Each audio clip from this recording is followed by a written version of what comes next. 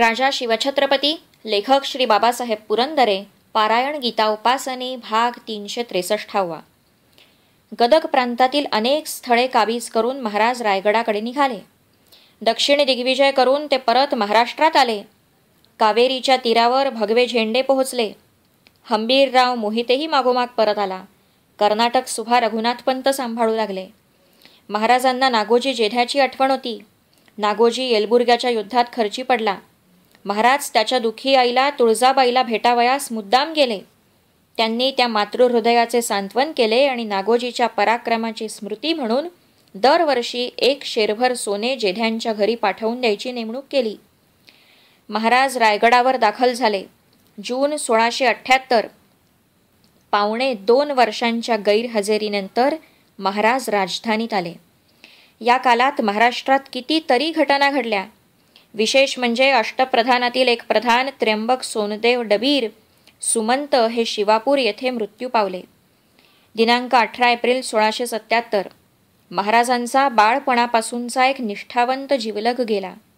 महाराजांचा एक एक खेळगडी खेळ टाकून आता निघून चालला होता. महाराज रायगडावर आले आणि थोड्याच दिवसात कर्नाटकातून खबर आली की वेलोरचा किल्ला काबीज झाला. रघुनाथ पंत आणि आनंदराव मकाजी यांनी वेलोर फत्ते केले. चौदा महिनेपर्यंत मराठी फौजेचा वेढा या अजस्त्र किल्ल्याला पडलेला होता. अखेर किल्ल्यातील विजापुरी फौजेत साथीचा रोग फैलावल्यामुळे किल्लेदार सिद्दी अब्दुल्ला खान जेरीस आला. त्याची बुद्धी आणि बळ कुंठित झाले.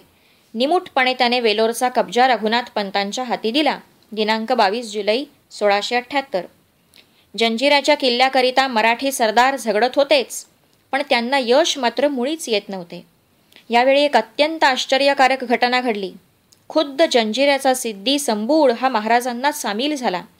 सिद्धी संबूळ व सिद्धी कासिम हे दोघेही अहिमहीसारखे अतूट ऐक्याने आजपर्यंत महाराजांच्या हल्ल्यांना तोंड देत होते. अजिंक्य ठरत होते पण त्या दोघात अखेर तंटा झाला. मोगली आरमारावर आतापर्यंत सिद्धी संबूळ सरखेल होता. हे आरमार संबूळच्याच हुकमाखाली समुद्रावर फिरत होते.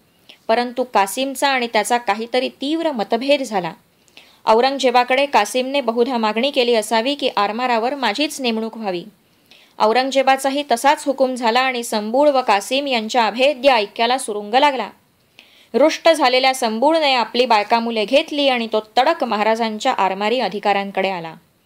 महाराजांनी त्याला ताबडतोब आपल्या पदरी ठेवून घेतले. त्याच्याबरोबर सिद्धी मिस्त्री हा एक अलौकिक सागरी योद्धा स्वराज्यात आला. त्यालाही मराठी आरमारावर मानाची नोकरी मिळाली. जंजिराला केवढे प्रचंड भगदाड पडले हे. आता जंजिरा काबीज होणार असा रंग दिसू लागला. पण तसे काहीही घडले नाही. जंजिरा अजिंक्यच राहिला. महाराजांना कळून चुकले की जंजिराचा प्रत्यक्ष सिद्धी आपल्याला मिळेल पण जंजिरा मात्र मिळणार नाही.